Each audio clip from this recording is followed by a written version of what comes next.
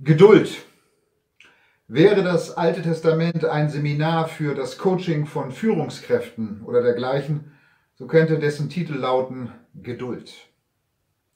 Jahr um Jahr warten Abraham und Sarah auf ihr Kind. Sieben Jahre dient Jakob für seine Frau und im Anschluss noch einmal sieben Jahre für die, die er wirklich liebt. 40 Jahre ziehen die Israeliten durch die Wüste. Mehrere Jahrzehnte Exil müssen sie durchstehen. Warten auf Rückkehr, warten auf den Messias, warten, warten, nix als warten. Der Glaube an Gott scheint eine einzige Geduldsprobe zu sein. Heute reißt manchem der Geduldsfaden. An der U-Bahn, an der Supermarktkasse oder beim Arzt. Es nervt, sich gedulden zu müssen. Zeit liegen zu lassen, frisst meine Lebenszeit auf. Und wie lange müssen wir eigentlich noch Corona erdulden? Warten müssen ist ein Angriff auf meine Selbstbestimmung. Wo bist du jemals ohnmächtiger gewesen als in einem Wartezimmer? Zu warten bedeutet doch Zeit zu verlieren. Warten heißt etwas zu verpassen. Tempo im Beruf und im Privatleben suggerieren, ich habe mein Leben im Griff. Ob das wirklich so ist? Wer Highspeed fährt, rast an mancher Sehenswürdigkeit vorbei. Warten, lehren Kulturanthropologen, warten kann eine Kulturtechnik sein.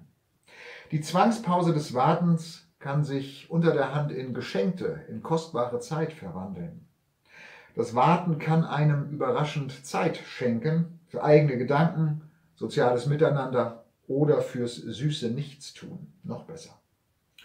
Meine Frau hat in der Warteschlange fürs Einschreiben an der Uni spontan eine andere Studentin kennengelernt. Die Freundschaft hält bis heute. Als neulich der Wald neben der A7 brannte und wir im Stau standen, haben wir ein unendlich gutes Hörbuch gehört.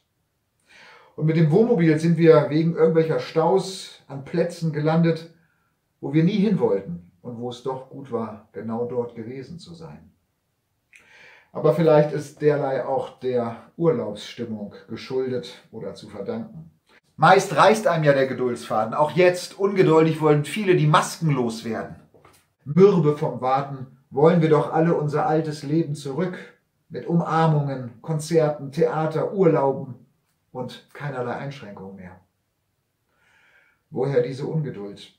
Es liegt wohl daran, dass wir mit der Welt nicht mehr eins sind und auch keinen treuen Gott hinterm Horizont erwarten, der die Erfüllung solcher Sehnsüchte mit sich bringt.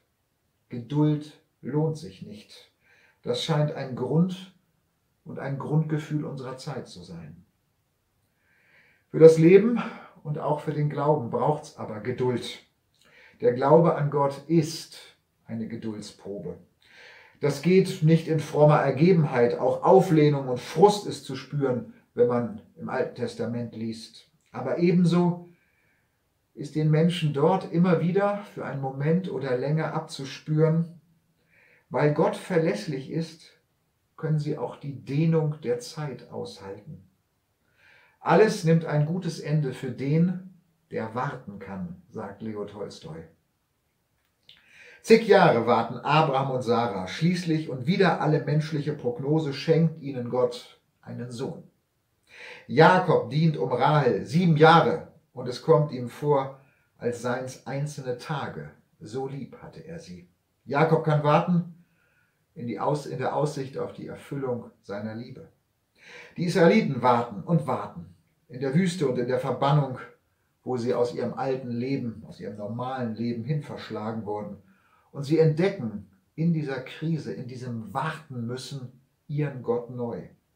Sie entdecken einen Gott, der mitzieht mit ihrem kleinen, großen Elend, der sich als kommende Macht ihnen andient und als kommender Gott sich ihnen präsentiert. Und sie erleben ihn als einen treuen Gott, der sagt, das Warten lohnt sich, das Vertrauen lohnt sich. Geduld hat wer Hoffnung hat. Hoffnung hat, wer der Erfüllung von etwas entgegenlebt, was versprochen wurde. Jesus wurde gefragt, bist du es, der kommen soll, oder sollen wir auf einen anderen warten?